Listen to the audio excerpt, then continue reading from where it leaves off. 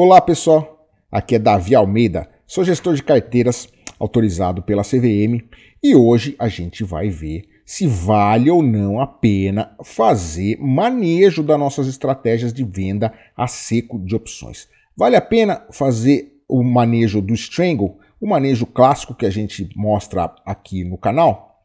É o que a gente vai tentar responder aqui hoje. Você aqui é Investe TV, fique ligado.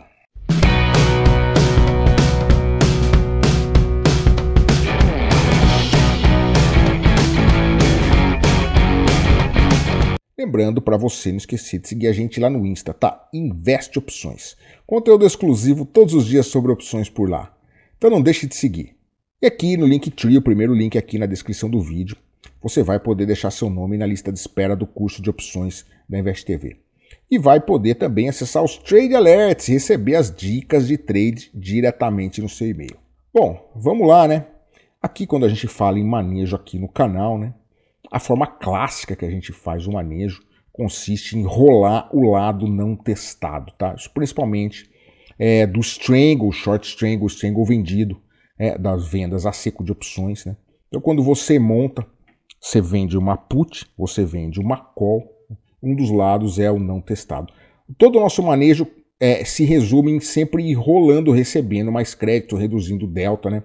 É, quem não viu o vídeo de manejo do Strangle que tem aqui no canal, não deixe de assistir, que lá tem o passo a passo de como a gente faz esse manejo. Agora, vale a pena, não vale a pena fazer esse manejo, né? Até quando eu postei o vídeo, teve, teve gente que foi lá comentar, falar que não, a operação fica muito nervosa, cara de outros canais, né? É, é, que produzem conteúdo tal, me criticaram, não vale a pena, né? E eu defendi que vale a pena, né? Eu sempre fiz isso daí. Né? O pessoal que faz gosta bastante. Aliás, tem até adaptações, né? Muita gente que vê os vídeos aqui adapta, manda mensagem para mim, oh, eu estou fazendo dessa forma, né?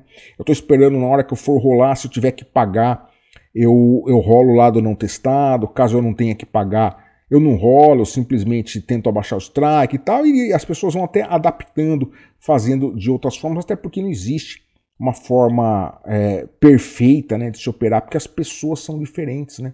Então as pessoas se sentem mais confortáveis com diferentes métricas de risco, em operar de uma forma diferente. Né? As pessoas às vezes têm é, um tempo menor do que outras, não tem tempo de ficar operando, manejando muito as estratégias. Tá? Mas vamos aqui para o vídeo, vamos ver se vale a pena ou não fazer isso. Então o que seria o lado não testado? Né? Porque a ação estava aqui né, no meio, né, quando você montou a estratégia, você vendeu uma call vendeu uma put, né? Ambas fora do dinheiro. O papel caiu aqui nesse caso, no exemplo, ó, o papel caiu, ele está bem perto aqui, ó, do strike da put que você vendeu, né? Então esse aqui seria o lado testado, tá? Esse lado é que você está sendo testado. Qual que é o lado testado? É onde o papel está perto ali, ele está caindo, está chegando no strike.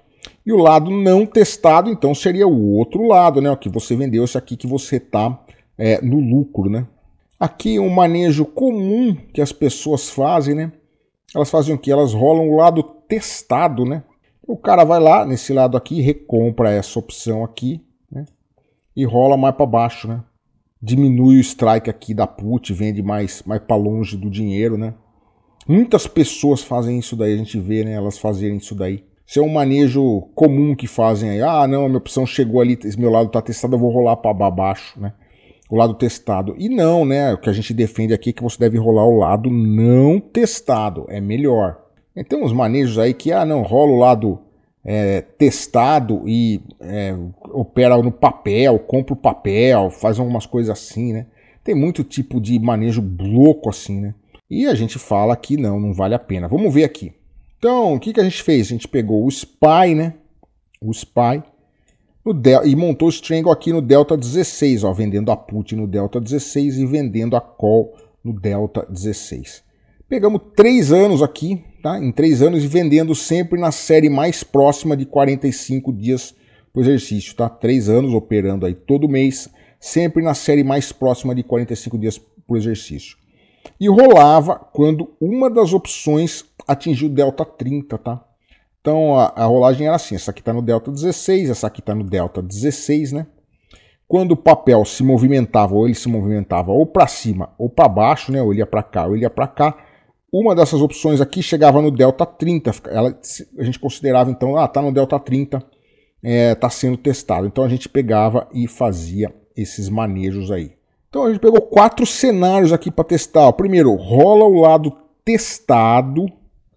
Para a mesma probabilidade inicial, né? Delta 16, no mesmo ciclo. Então você vai lá, recompra e vende outra no Delta 16. Segundo cenário, rola o lado testado no mesmo strike para o próximo ciclo, que você faz o quê? Rola só o lado testado para o próximo exercício. Terceiro, você rola o lado testado para mesma probabilidade inicial no próximo ciclo. Né? Isso aí seria o quê? Você rolar para o próximo vencimento, o lado testado no, no, na probabilidade inicial, delta 16. E a quarta probabilidade, rolar o lado não testado. Essa que a gente faz aqui. Rolar o lado não testado para a mesma probabilidade no mesmo ciclo, tá? Olha os resultados aqui, ó. Rolando o lado testado para mais fora do dinheiro, né? Você recomprando e vendendo mais longe. Ó. Olha o lucro, pre preço é, é, PNL, né? Profits and Losses aqui. Deu lucro de 650, 650 dólares, né? É, é, agora, rolando o lado testado para o próximo exercício, tá? Aqui no mesmo strike, 951. Rolando só o lado testado.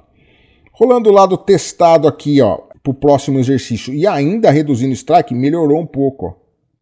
1293. Agora, o nosso manejo de rolar ao lado não testado, ó, 2.490, 2.490 dólares aqui de lucro. Deu mais do que você não fazer nada, tá? Você não fazer nada, você ganhou 2.024 dólares, ou seja, você não fazer nada é melhor do que rolar ao lado testado, ó. É melhor, tá vendo? Então, essa, esse manejo de rolar ao lado testado é ruim. O ideal é o lado, rolar o lado não testado. Por isso que a gente faz esse manejo. Ó. Os estudos todos mostram isso daí. Isso aqui é um estudo, mas tem vários, tá? Olha aqui, wins, né? Trades vencedores, ó. Você reduziu aqui ah, os trades vencedores, né? Quando você rola reduzindo o strike, se aumenta a quantidade de trades vencedores, né? Rolar o lado não testado, ó, 26 de 32, ó. Percentual de wins, né? Quantos é, trades que deram certo? Ó, 69, 81, tá vendo, ó? rolar o lado não testado, é melhor. E PNL por lucro por dia, cada dia que você está no trade, ó. Qual que é o seu lucro? Né? O PNL por dia. 1,66, ó, rolar o lado não testado é a melhor alternativa, disparado, né? 1,66 contra 1,35 de você não fazer nada. Rolar o lado testado, ó, piora muito o resultado, né? E aqui dias no trade, né? Esses daqui, 47 são os dias que você, essa aqui não, não teve rolagem para o próximo exercício, né? As que tiveram rolagem aqui para o próximo exercício, você ficou mais dias no, no trade, né? 78. Então, o nosso manejo aqui que a gente faz, né? Os estudos mostram que ele é assim, rolar ao lado não testado, é melhor, vale a pena, você vai ter lucros melhores, você vai ter resultados melhores operando opções. Legal, pessoal? Gostaram do vídeo? Então, se você gostou, deixe seu curtir. Isso ajuda bastante o canal a continuar postando esse tipo de conteúdo. Meu nome é Davi Almeida. Isso aqui é Invest TV. Um abraço a todos e até o próximo vídeo.